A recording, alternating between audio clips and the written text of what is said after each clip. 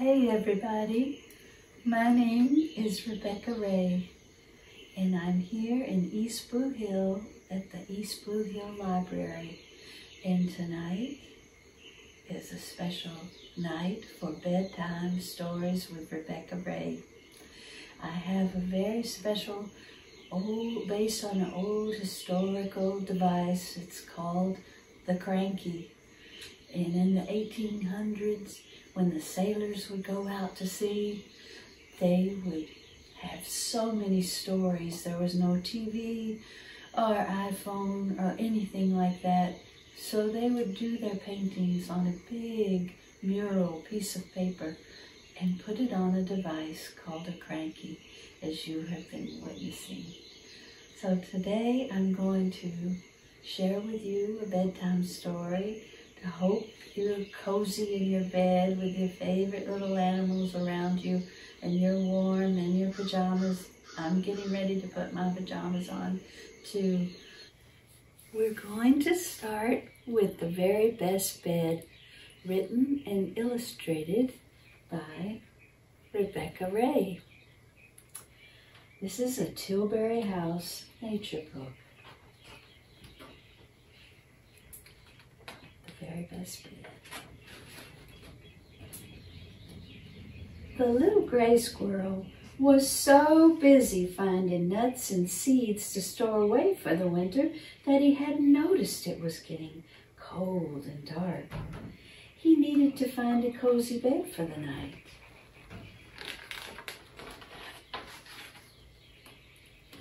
There was a nice den nearby under a fallen tree, but it was already very, very full with a big bear.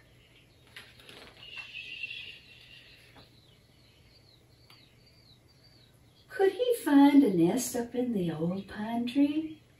But then he heard the sound of a barred owl hooting. It sounded like,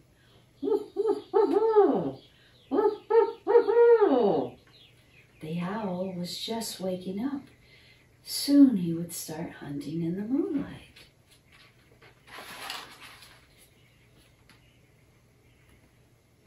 The squirrel jumped up to a great pile of rocks. There was a safe little cave there, but when he peeked inside, he saw a red fox snuggled up with his warm, bushy tail. What if the fox woke up hungry too? Not so good for the squirrel. It might be safer up on a tall maple tree. So up up, up he climbed. A family of bats was hanging upside down from the branches. The squirrel tried it too, but it made his head ache.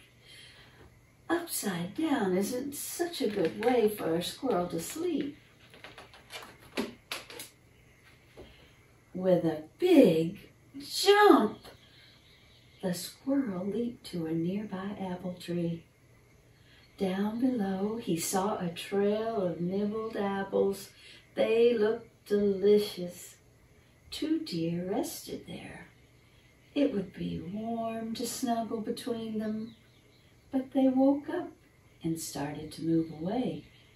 Deer only sleep for a few hours at a time. He followed a cottontail rabbit, hop, hop, hopping towards a group of thick young spruce trees. It was headed for a small hollow in the grass, lined with leaves. What a perfect place to sleep. Too bad it was only big enough for one rabbit.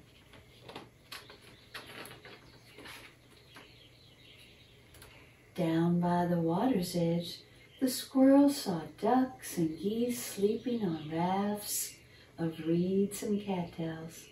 The gentle waves rocked them back and forth. But the squirrel didn't want to get his own little feet wet.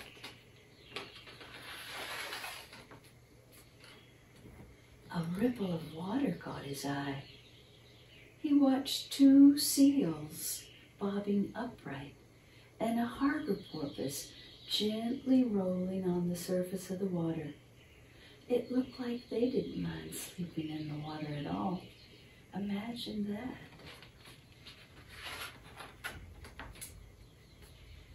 At the pond, on his way back to the woods, the squirrel saw a big, just a big old beaver slapping his flat tail on the water and dived down into the lodge in the middle of the pond. But the squirrel certainly did not want to get his fluffy tail wet.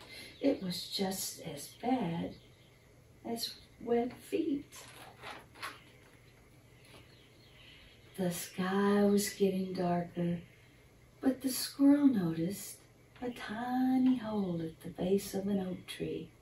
He peeked inside and saw a chipmunk sleeping on a bed of leaves and grass. There were lots of seeds nearby in case he woke up hungry. It looked very, very cozy, especially with a snack so handy. But there wasn't quite enough room for a squirrel, too. Oh, poor squirrel, he's very tired.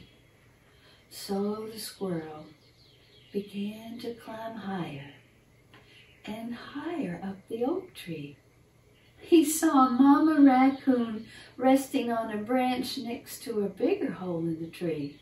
But when he looked inside, there was a nest full of raccoon babies. It didn't look like they would be going to sleep anytime soon. As you know, raccoons are up most of the night. The squirrel kept climbing higher and higher and higher, and there, sheltered under a branch, was an empty woodpecker's nest. Quick as a flash, the squirrel scampered down the tree and gathered some grass and moss and leaves. Then he made the very best bed there ever was he curled up under his fluffy tail and slept and slept and slept all night long.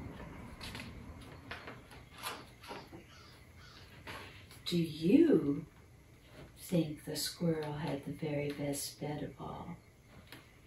And in this painting, you can see everybody that was talked about in the story some are waking up, some are going to sleep, and the sun is rising.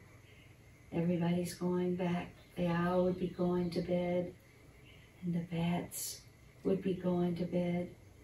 The beaver would probably go to sleep then too. I hope you enjoyed that story. And in the back, there are special facts about each one of the characters. For instance, the squirrel in the story is a gray squirrel, and gray squirrels are common in the United States and Canada. They are active, active during the day and they sleep at night.